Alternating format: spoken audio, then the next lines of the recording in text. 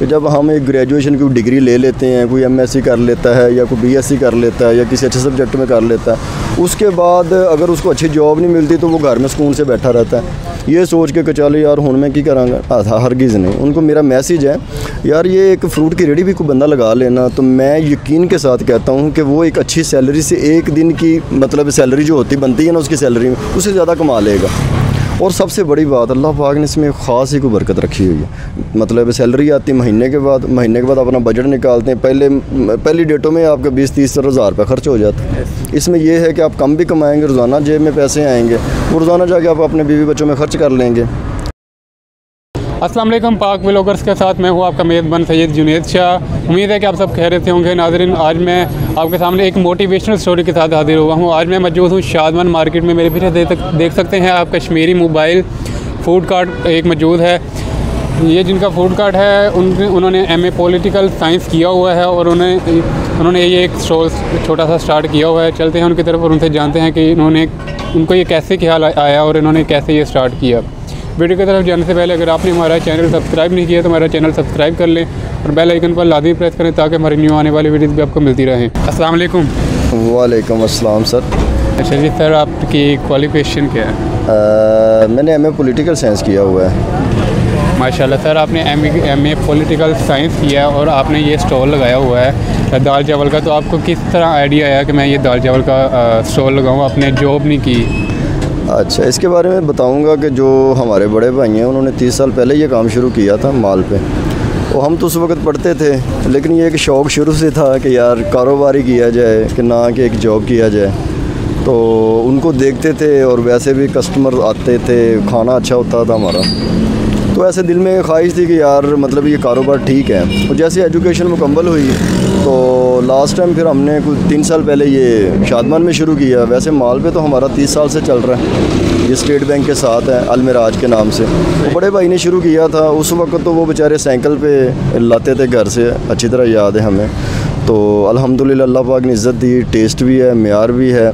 और सबसे बड़ी बात है कि सस्ता फ़ूड देते हैं हम। हर गरीब बंदे की पहुँच में है। कोई बीस, तीस के भी कहता है तो हम खाना उसको दे देते हैं। और सम टाइम कोई ज़रूरतमंद हो, उसके पास नहीं पैसे होते हैं तो उसका भी एहसास करते हैं। खाना उसको भी दे देते हैं। आपने एम ए पोलिटिकल साइंस किया और उसके बाद फिर आप भी इसी फ़ील्ड में आ गए, अपने बिज़नेस की तरफ़ ही आ गए। जब फैमिली में पता चला, यार आपके फ्रेंड्स ने, रिश्तेदारों ने कुछ नहीं कहा कि आपने माशाल्लाह इतनी अच्छी तलीम हासिल किया और अब आप भी यही कर रहे हैं, कुछ बड़ा भी तो कर सकते हैं। सर, इस बात पे मैं ये कहूँगा कि अगर मेरी तलीम ना, अगर मैं सपोज़ डेट पाकिस्तान में अभी पीएचडी है ठीक है ना एम फिल है या पी एच डी अगर वो भी करता तो भी मैंने बिज़नेस ही करना था। उसकी वजह यह है कि हमारी ये बड़ी न्यू जनरेशन में बड़ी कमी पाई जाती है कि जब हम एक ग्रेजुएशन की डिग्री ले लेते हैं, कोई एम एस सी कर लेता है या कोई बी एस सी कर लेता है या किसी अच्छे सब्जेक्ट में कर लेता है उसके बाद अगर उसको अच्छी जॉब नहीं मिलती तो वो घर में सुकून से बैठा रहता है। ये सोच के चलो यार हूँ मैं की कराँगा? हरगिज़ नहीं। उनको मेरा मैसेज है, यार, ये एक फ्रूट की रेडी भी कोई बंदा लगा लेना। तो मैं यकीन के साथ कहता हूँ कि वो एक अच्छी सैलरी से एक दिन की मतलब सैलरी जो होती, बनती है ना उसकी सैलरी में उससे ज़्यादा कमा लेगा। और सबसे बड़ी बात अल्लाह पाक ने इसमें ख़ास ही कोई बरकत रखी हुई है। मतलब सैलरी आती है महीने के बाद महीने के बाद अपना बजट निकालते हैं पहले पहली डेटों में आपका बीस तीस हज़ार रुपये खर्च हो जाता है। इसमें यह है कि आप कम भी कमाएँगे रोज़ाना जेब में पैसे आएँगे वो रोज़ाना जाके आप अपने बीवी बच्चों में खर्च कर लेंगे। ठीक है? तो मेरा मैसेज है कि अगर एक अच्छी जॉब मिलती है तो वेरी गुड नहीं मिलती तो कारोबार करना चाहिए। और अच्छी डिग्री लेने का मकसद ये नहीं कि मैं आ जाए नहीं, ये गलत बात है। मैं नहीं होनी चाहिए। मिट्टी के साथ मिट्टी में हो के जीने का मज़ा है और फिर वही अल्लाह को पसंद है। तो मेरा मैसेज यही है कि इसमें कोई हेजिटेट नहीं करना चाहिए। कारोबार करना चाहिए। किस, किसी किस्म का भी होगा हाँ वो बड़ी पीक पे है। हाँ वो छोटा कारोबार है। सबसे बड़ी बात है, जो छोटा होगा, वो एक दिन बड़ा हो जाएगा। बिल्कुल ऐसे ही। अच्छा सर दाल चावल के अलावा आपके क्या मेन्यू में है और? हमारे पास ये, जैसा कि ये लगा हुआ मेन्यू, हमारे पास दाल चावल है, चिकन वेजिटेरियन होती है हमारे पास, ये बड़ी अच्छी बनी होती है मतलब सब्ज़ियाँ होती हैं, चिकन का छोटा छोटा पीस रख के बनाई होती है हमने। चिकन शामी कबाब होता है।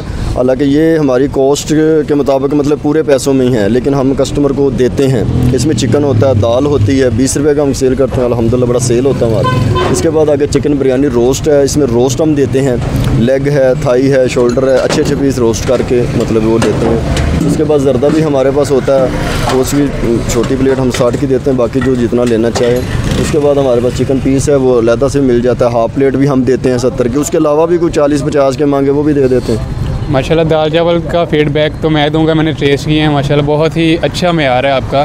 तो मुझे कस्टमर का बताएँ कस्टमर आपको क्या कह के जाती है? आ, सर कस्टमर का ये है कि जैसे अभी आपने खा के कहा है कि यार बड़ा अच्छा है अल्हम्दुलिल्लाह 99 परसेंट हमें कस्टमर यही कहता है कि यार अल्हम्दुलिल्लाह बड़ा अच्छा है। उसकी वजह भी यही है कि हम मैार देते हैं हम खर्च करते हैं और बड़े कम पैसों में देते हैं। और देखें साथ ही सेवर फ़ूड है इधर हमारा है तो माशाल्लाह मतलब उसकी और रेट में हमारे बड़ा फ़र्क है।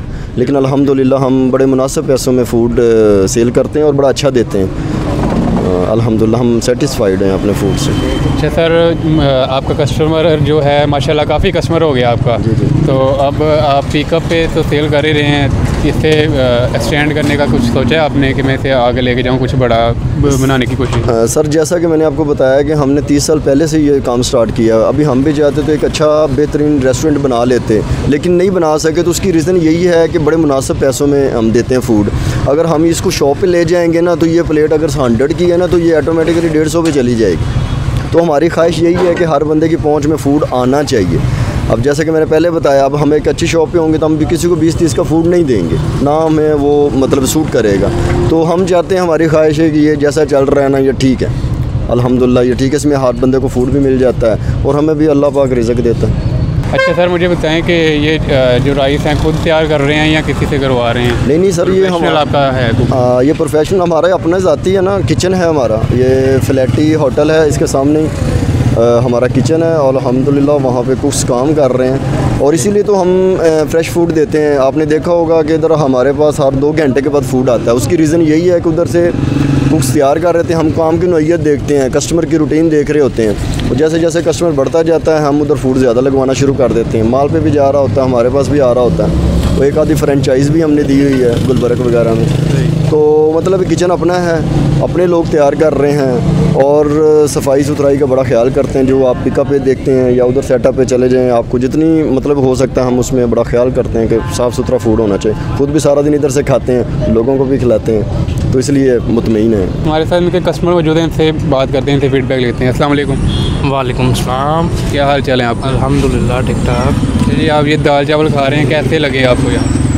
मैं भाईजान जब भी इस एरिया में आता हूँ ना स्पेशली अभी मैं नमाज़ पढ़ने आया हूँ, जब भी आया हूँ, इनके पास चावल लाजमी खाता हूँ। मैंने बड़ी जगह से टेस्ट किया, बहुत सी जगह से, लेकिन इन जैसा जो टेस्ट है ना अलहमदिल्ला वो कहीं नहीं मिलता। इस फ़ूड कार्ट पे जो रश लगा होता है, लाइनों की लाइनें लगी होती हैं, लोगों के लोगों के ऊपर लोग चढ़े होते हैं और लड़ रहे होते हैं कि पहले हमें मिल जाए। पता नहीं क्या ऐसी ख़ास बात है, माशाल्लाह, मैंने भी टेस्ट किए हैं, बहुत अच्छा टेस्ट है इनका।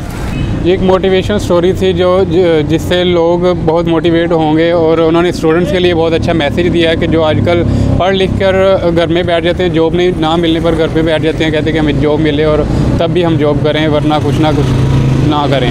तो उन्हें को चाहिए कि इस तरह कोई ना कोई काम कर लें जिससे अपना कारोबार चला सके। इसी के साथ अपने मेज़बान सही जुनेद शाह को इजाज़त दें। इंशाल्लाह मिलेंगे आपको नेक्स्ट स्टोरी में। बहुत सारा ख्याल रखेगा। अल्लाह हाफिज़।